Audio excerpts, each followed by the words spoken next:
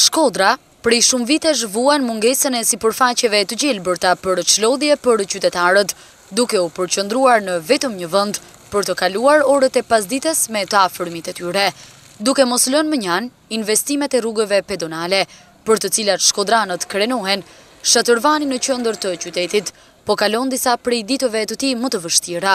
Dëmtimi i shumë investimeve publike ka krijuar probleme në të vetmin vend çlodhës për qytetarët shkodranë. Mjafton të hedhësh një vështrim në këtë zonë në Shkodër dhe dallohen qartë çdo degradim që i ka bërë koha këtij vendi në qendër të qytetit të Shkodrës, përballë bashkisë së qytetit.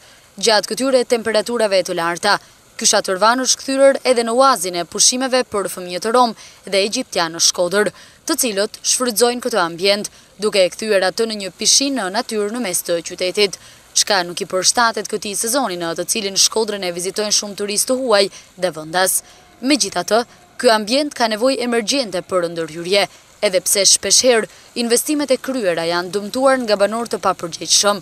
Dëmtimi i stolave dhe i ndriçuesve krijon një pamje të zymtë në të vetmen lulishte që i ka mbetur Shkodrës, e cila që pas rikonstruksionit në vitin dy mijë e nëntë nuk e ka parë më dritën e investimeve.